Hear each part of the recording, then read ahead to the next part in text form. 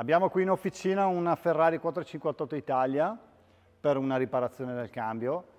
e fa sempre piacere avere queste auto in officina perché comunque i clienti si fidano. Ehm, monta un 7 marce Getrag che è il 7DCL 750 che è il classico cambio 7 marce che ha montato praticamente tutte le Ferrari prima dell'arrivo dell'ultimo 8 marce quindi l'ha montato praticamente dalla, dalla, prima California aspirata fino a qualche anno fa. L'auto, vabbè, 458 Italia, la conoscete a memoria, è una macchina che ormai ha 15 anni, una macchina bellissima, a me piace un casino esteticamente perché è molto, tra virgolette, giapponese il frontale rispetto a 430 che non mi è mai piaciuto e anche il retrotreno che richiama un po' col, con i tre scarichi dell'F40, un po' una linea comunque ha fatto un salto esagerato dalla 430 al 458 anche a livello di trasmissione perché la trasmissione 430 era il classico cambio robotizzato Ferrari 6 marce. Invece con 7 marce doppia frizione ha fatto un salto in avanti estremo. Però prima di passare ai problemi del cambio tutti i meccanici e carrozzeri mi capiranno quando si smonta una Ferrari si rimane sempre molto male perché a livello costruttivo tanti particolari molte city car come per esempio la Polo Volkswagen per tante cose è fatta meglio e non sto scherzando perché nella mia immaginazione questo supporto del paraurti probabilmente non era stabile allora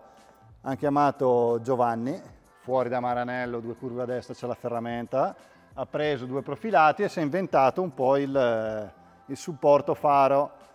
e invece per il supporto dietro della marmitta che secondo me non serve a nulla perché si flette e l'hanno fatto perché avevano qualche problema con lo scarico che magari vibrava o per dare un po' di supporto al paraurti. Visto che avevano in officina Gennaro che lui è bravo a piegare invece i, i profilati, gli hanno fatto fare questa bellissima traversa che fa schifo e su una Ferrari è un insulto, anche perché voler guardare dici la faccio schifosa, però o gli metto due tappi di plastica o la chiudo o la limo un attimo, cioè ci sono mille modi per farla più bella spendendo uguale e invece loro hanno deciso di, di fare una schifezza del genere.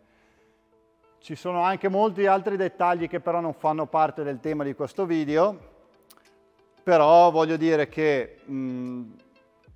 gli addetti ai lavori come meccanici e carrozzieri, come ho detto prima, quando smontano un'auto o una Ferrari rimangono male. Però c'è da dire che quando si ha in officina una vettura col cavallino, col fondo giallo, gli si perdona tutto. Il cambio lo vedete qui, è un cambio bassissimo perché ovviamente montano questa trasmissione su tutte le supercar, anche la Mercedes AMG GT, McLaren,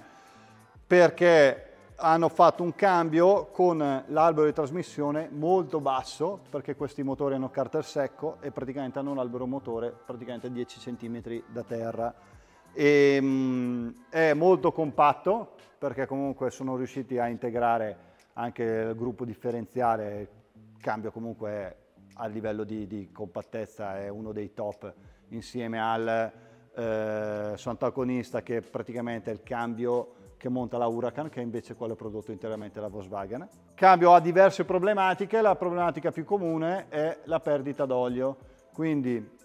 state molto attenti sulle Ferrari che montano questo cambio, di, eh, di, non trovare, di, di controllare di non trovare macchie di olio idraulico eh, praticamente sulle mattonelle sul, nel garage, perché se uno non si accorge e degenera, può degenerare anche velocemente, rischia di fun far funzionare la macchina senza olio e se perde la parte idraulica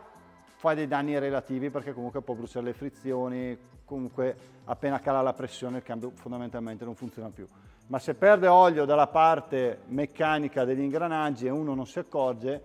rischiate di fare la frittata perché il cambio comincia a girare a secco e poi lo prendete e lo buttate via. E il Mercedes, la MG GT costa più o meno mi sembra 12, dai 12-15 mila euro. Il Ferrari vi possono chiedere anche 40 mila più IVA, perché cambia uguale, la famiglia è uguale, però ovviamente tutti gli attacchi sono differenti.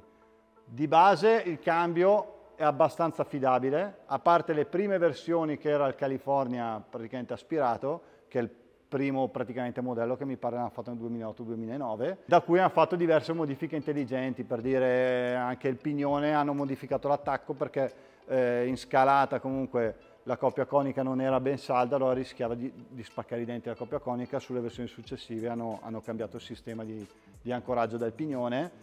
E, ehm, mh, possono avere anche qualche problema eh, sulla parte del, del gruppo valvole interno che purtroppo è un casino da smontare perché bisogna aprire completamente il cambio rispetto ad altri cambi che hanno magari la coppa e si riesce a intervenire anche con la macchina col cambio montato. In questo caso abbiamo anche un altro cambio sempre della stessa famiglia della, di una Ferrari F12 da revisionare. Vedete che l'anteriore, la parte anteriore è diversa perché in questo caso il motore centrale viene montata direttamente sul gruppo volano del motore e invece in questo caso ho montato Transax, quindi ha eh, un, un, perno, un, un, albero con mille righe che va ad agganciarsi a un albero che finisce sul volano della vettura che è distante un metro e mezzo per dire, sotto il cofano anteriore della macchina.